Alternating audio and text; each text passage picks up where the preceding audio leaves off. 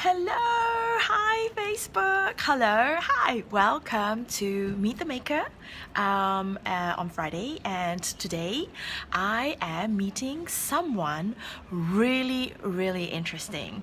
Um, when I first met her, um, I only got to know one part of her story, which is all about um, essential oils and how essential oils has helped her get out of um, postnatal depression.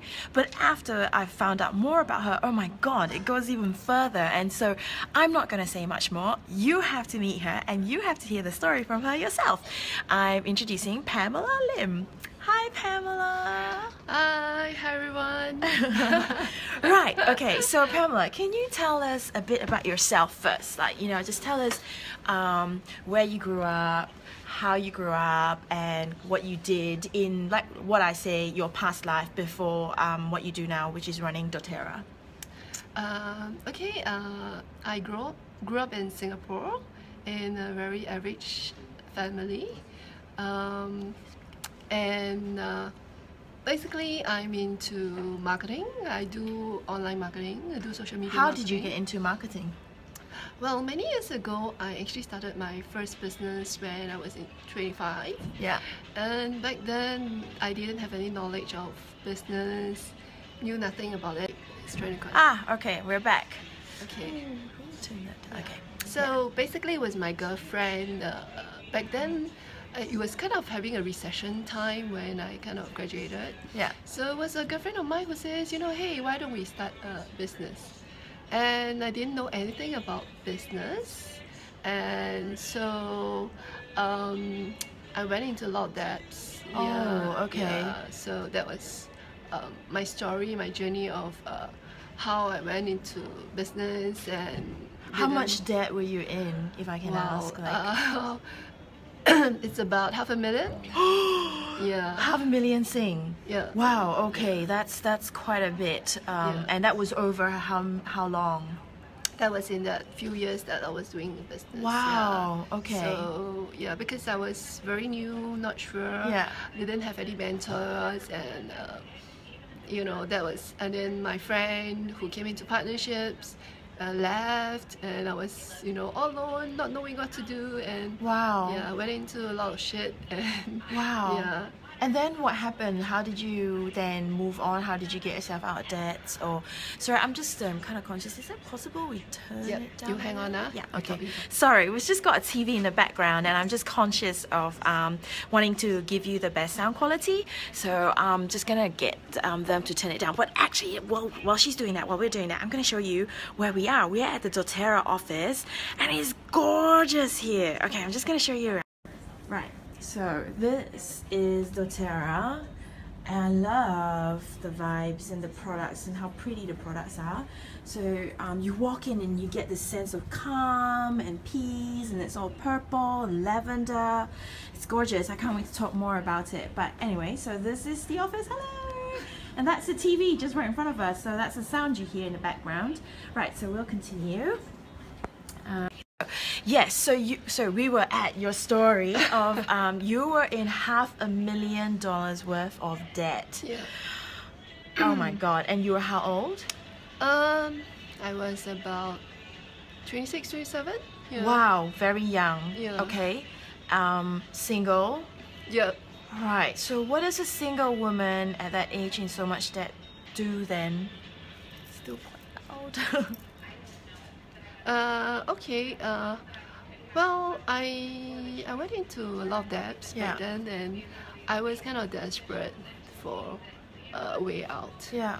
And uh, I, you know, back then I never, I didn't knew how. Yeah. So, um, when this I was before internet like went really big as well, right? Yeah, Because a lot of yeah, people yeah. now can do a lot of things from Correct, the computer, social So, media. That was that was back then. There wasn't much of the internet. Yeah. Yeah, it was still the IRC chats. Yeah. Oh my god, I remember those days. Yes, IRC. yeah. yeah, so it was all the IRC chats and everything. So um, back then I was kind of desperate, I guess. Yeah, Mhm. and then uh, I also took loans from banks, from people, from friends, and Mhm. everything else. So um, when I was in too much debts and I couldn't handle it, you know, I went into depression. Mm-hmm. Yeah, so I was in depression for many years. Mm-hmm. Yeah. Wow. Okay. Yeah. And then how? What happened? How did you? What did you do? Um, at, at, at the lowest point of my life, basically, uh, I was uh, jobless, I was homeless, I was penniless, I was um, I was sleeping on the streets. yeah, and then you know at East Coast Park or anywhere I could find, you know. Really? And then I had a friend who um, who says, you know, why don't you uh, stay at my place? Mhm. Yeah. Mhm. Uh, but that didn't help because uh, that friend of mine who kind of promised to help me get out of debts Mhm. actually eventually um, caused me into more debts. Yeah. How? So you know, he was like he was telling me, you know, there's a way of getting out of that, and then uh, he says, you know, there's some kind of investment deal. So Mm. back then I was very naive and I was very Mm. desperate. So I kind of like, okay, I thought it was true, and then you know, in the end, I borrowed more money, and then you know, I, that was how I ended up in so much debts. And Oh my God. yeah, so it's it's like and then you know he he ended up uh, in jail and then he was gone and everything else. Oh Wow. yeah, and so Wow. that So then you so you racked up even more debt. yeah, so that's why you know that's um um that that was how I went through all that shit, you know, and then in my most desperate times, um, you know, I actually uh, ended up becoming a prostitute to survive. And that was how I actually met my husband. Oh wow. yeah. Oh Yeah. wow.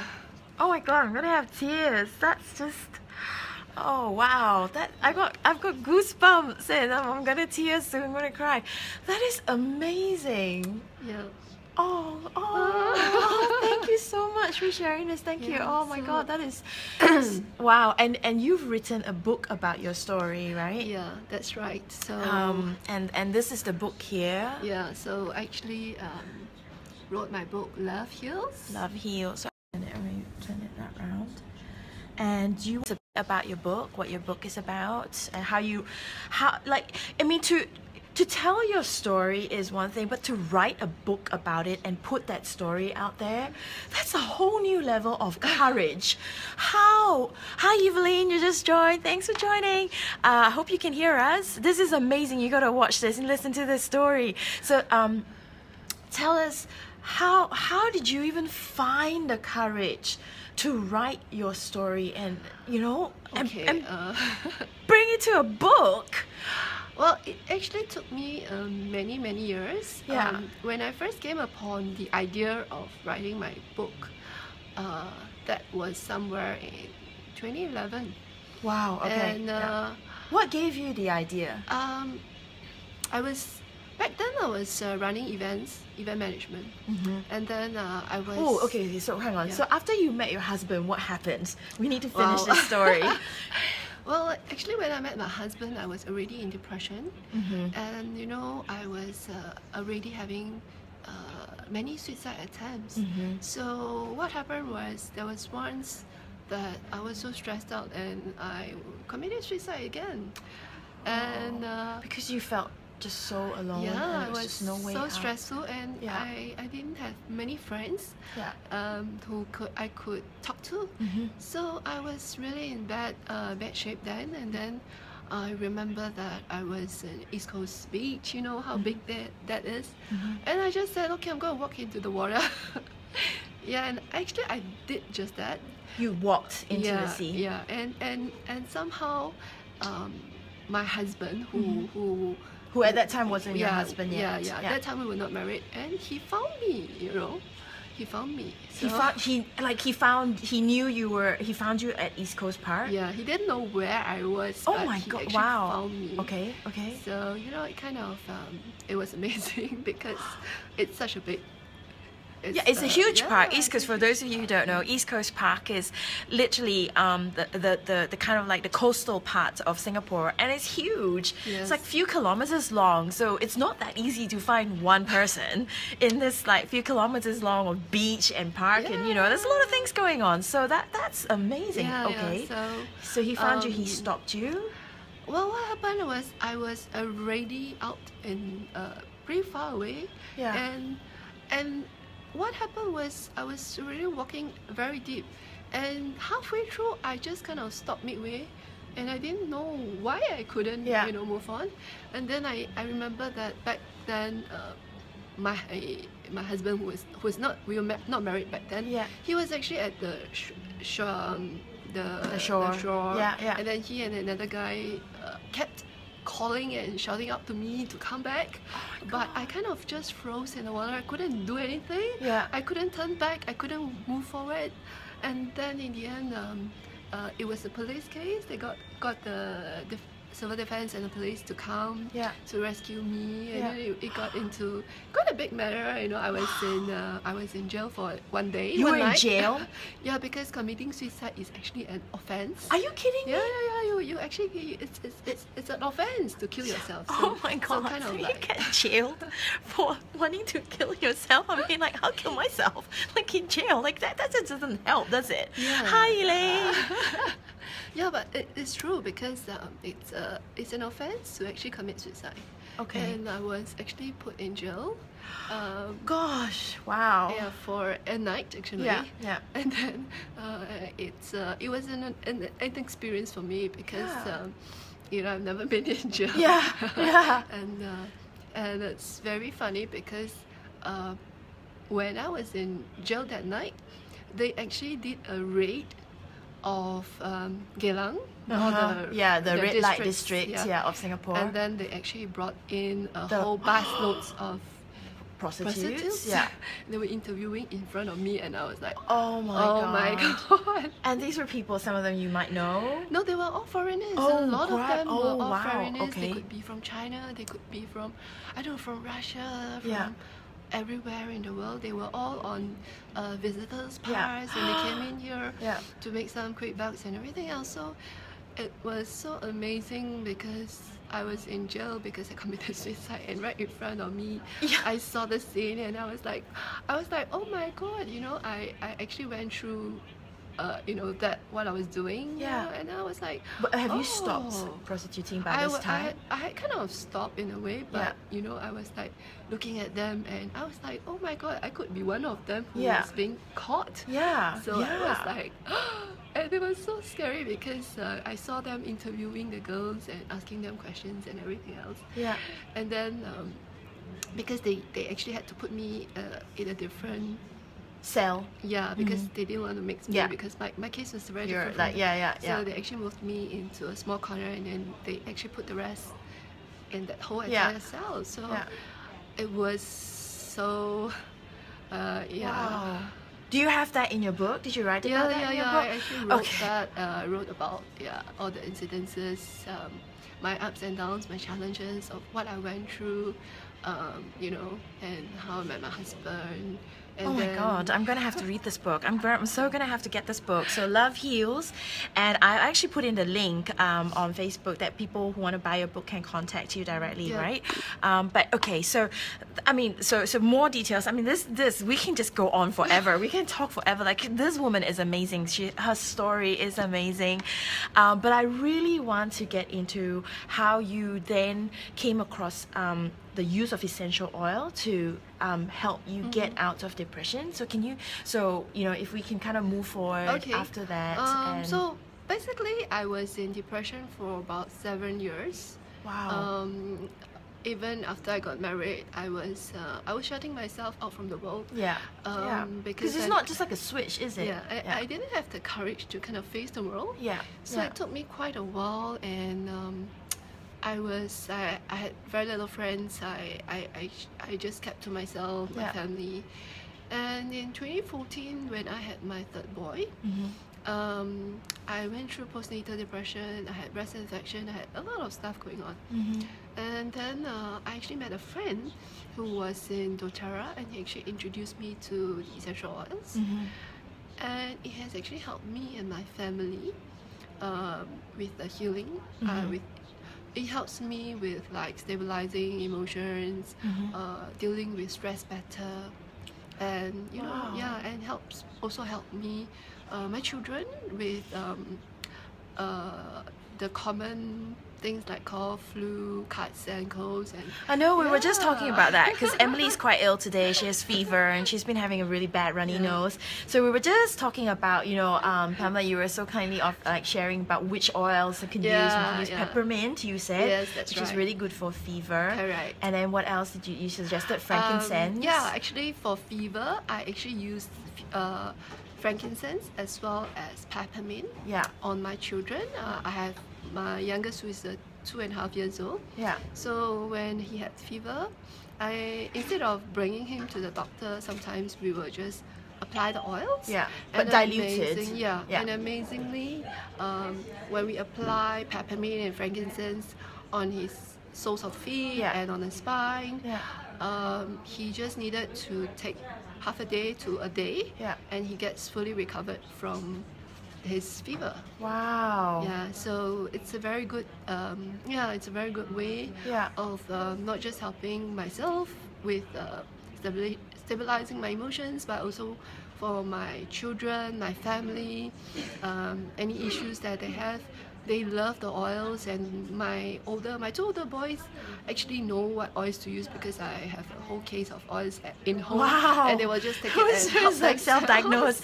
so what oils? What are the particular oils that you use to um, stabilize your emotions, Mm. and that would help when you're feeling down or depressed? Someone who's depressed, because we all have our days. Yep. And what what is an uplifting um, oil that can help? Um, for me, I always use Balance. Balance is a very good oil for me to start my day. Mhm. It uh, actually stabilizes emotions. Mhm. And for people, What's balance who- made up of? Uh, it's actually it's a combination of a few oils. mhm. So I can't really remember the ingredients, but it's uh, it's quite a combination anyway. so we'll have a look. So this is your bag, your magic Yeah. bag of oils. Yeah, I think. I'll just show a few of Oh wow. Okay, so they come in these little bottles. So, so this is. Okay, I'm just gonna put it out there. So I'm a Young Living user. I, I've been into essential oils for the longest time. I don't know, maybe more than 10 years. And I got introduced to Young Living by some friends. Um, so I'm I was always very familiar with Young Living and DoTerra. I became more familiar in I would say since I met you maybe a few months ago. So I'm really curious, and I'm sure there's quite a few of you out there who are. What is what would you say, in your point of view, is the difference between Young Living and DoTerra? Not saying one is better than the other, but just what is the key difference, or like you know the the differentiating point? Um, I I think okay. I I I'm not sure. I'm not um, into Young Living, Yeah. so I'm not sure about Young Living. Yeah. But when I was introduced to DoTerra, what I liked about DoTerra was the science behind it. So we Mm. have a founder called Dr. Hill. He's um, someone who is into the R&D and the sciences behind the essential oils. And they actually, doTERRA comes up with a grade called the CPTG grade, which is the Certified Pure Therapeutic Grade. Mhm. And um, they make sure that all the oils are so potent, so pure Mhm. and safe. Mhm. Um, it's all 100% uh, pure and safe. Thera- therapy grade. grade. Yeah, yeah, therapeutic And grade. before they actually put it uh, for sales. Mhm. And before they, uh, every batch, before even they sell it, they will actually do a test Yeah. to make sure the potency is as of the best quality. Yeah. And you know, I, I love I love it because uh, they are not just about just a product, Yeah. but they actually have the science behind it. They actually do a lot of tests, Yeah. uh, a lot of chemical testings, a lot of reports, and uh, there's always a scientific proven thing that it works. Mhm. So yeah, that's what I love about doTERRA, and I'm not sure about Young Living actually. Yeah. Oh, you got me really intrigued now. I'm sitting here and I'm smelling all these oils and I'm like, oh wow, I need to get all this. It smells amazing. So I'm just going to quickly show people. Yes, you have orange. This is so the that's balance. Yeah, this is the one, the balance. Right, okay, so that's balance. Let's have a look. Um, so balance, you say uh, you would recommend for um, balancing your emotions, Stress stress. and- yeah. So it's got it's got a mix of all chamomile, boswellia, camphora. Okay, so it's quite a good quite a mix. What else do we have here? So if people are in depression, what I will always say is use citrus oil. So oh, let's say, yes, for example, wild orange. Yep. Mm-hmm. Yeah, wild orange is a very good one. Mm, uh, citrus it smells amazing. Yeah, you should smell it. Oh, it smells really. Oh wow. Okay, yeah. Wow, it smells really. Oh, Okay, I'm I'm feeling, I'm feeling good. Smells amazing. Yeah. That smells really nice. Mm. Mm. Okay, wild orange. We should use citrus for um, depressed uh, people who are depressed or feeling down. oils like lime, lemon, wild orange, bergamot, anything that's citrusy, it's all about uplifting our moods, making us Mm. happier, um, making us uh, feel better. You know, Mm. so if if if you are like feeling down or you know uh, not in a really good mood, I Mhm. think. Uh, Use citrus oils to uplift yourself, make you feel happier. I love it. and I love it. And that ties in nicely to our last point because I'm just conscious of time. I'm going to wrap up now, unfortunately, because I just like to go on. Um, uh, I think, well, you know, because this whole program and what I talk about is all about how to live the life you love and how to be happy and positive. So, you know, what would be your one uh, message or tip? I wouldn't say advice because advice is sort of like, you know, I'm better than you, but it's not. It's like, what do you do or what would you recommend people to do to live the life you love? I think um, a lot of times, especially people in Singapore, they always compromise Mm. with what they want to do. Mm. I think for me, I've learned that you know, um, when you love something, when you're passionate about it, when you have a dream that you really want to pursue, and just go and find a way to pursue that, Mm. to have that fulfillment in your life because. Um, you know, rather than you could be working a job that gives you maybe a good, good uh, Salary. salary Mhm, mhm. but if you're not happy and you are living an empty life Mm. day in and day out, dragging yourself to work, I guess that's that's not the point of uh, Mhm. you know having a fulfilling life and finding you know your passion and what you love to do. So I've um, come across many people and.